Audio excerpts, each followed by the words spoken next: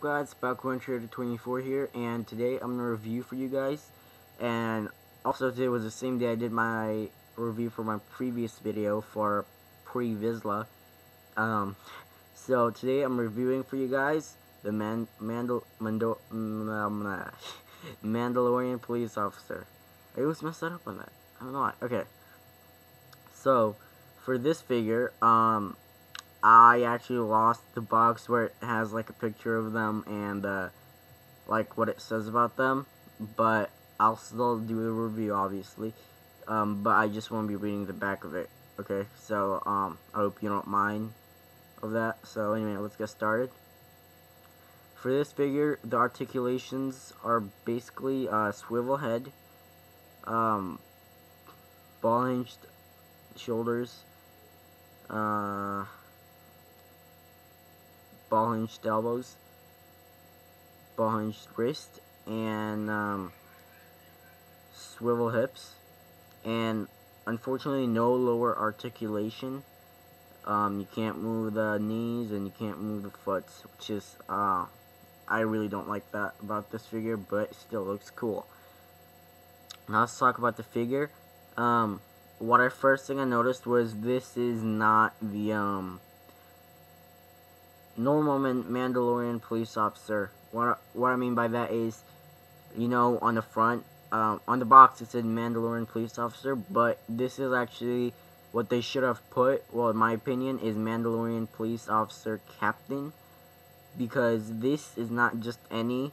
And if you see, there's an uh, you see there's like the number 22 over there. You see that 22, and then also on the other side 22. Um, it's actually the captain. Now, there was an episode that I watched where this guy actually showed up, and uh, I don't remember the name of the episode, but um, when this guy showed up, it was it's the same guy because I know because he had the 22 and everything, and when he showed up, um, Duchess Satine actually called him Captain instead of just um, guards or police officers or whatever. Um, she actually called him Captain, meaning that he is Captain because if it was just any normal guards, I don't think he'd have a number 22. I mean, what's the what's the reason for that, you know? Um, I don't know what the reason they, they put for the captain, um, Y22, but um, I don't think this is just any normal Mandalorian police officer. Alright, now let's start with the head. Um, you can't see his hair because it's the hel it's covered by the helmet, and you can't take it off or anything. But what you can do is actually, you can move this visor down like that. But one thing I don't like about this is the visor is a bit loose. If you see how like there's like no space at all, there's barely any space where the lips is or the mouth is. It's because it's actually supposed to be higher. It's supposed to be at least it's supposed to be this high. Let's see that instead of being all the way down here, because on the picture it said it actually showed it like about this high instead of going down like that, and I, it's actually really loose. Now, I personally like to keep it up because it just looks cool like that, but some of you may like it like this. Now, onto the armor. I like how it's sort of medievalish kind of because of this, uh, it looks like what knights wear as their, like, um, visors and stuff. And, yeah.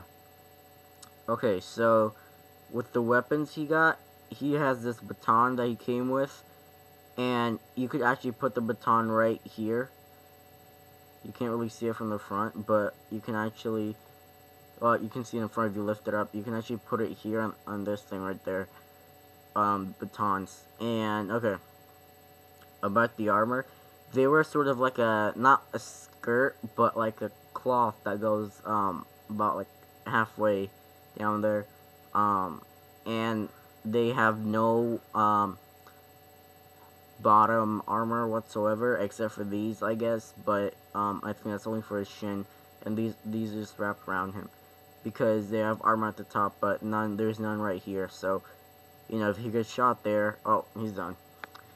Alright, anyways, with this, there's, uh, obviously number 22, but he also came with a, hold on real quickly, sorry about this, guys, a shield. A shield. A shield also has a number 22 matching what is on his shoulder right there. 22 and 22 right there. and basically you can actually put the shield um he can actually hold the shield obviously like this just basically um where it has this thing um when you actually get it he's already holding it you can just like do um what I like to do first is you know how there's this little handle right here there's this little handle there.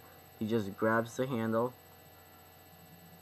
like so and then just go down and then do that. And there you go. It's on.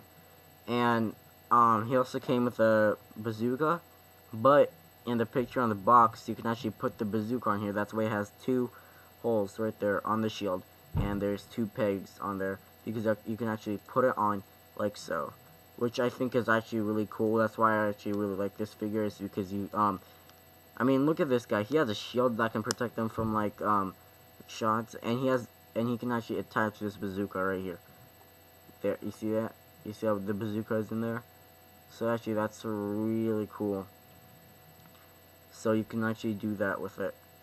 And of course he has this baton right here and you just keep it down. And that's basically it for this review. And yeah. So that's really cool about it. Um it doesn't come with anything else that's all it came with. And yeah I think it's really cool. So uh thanks for watching guys and I'll see you guys next time. Bye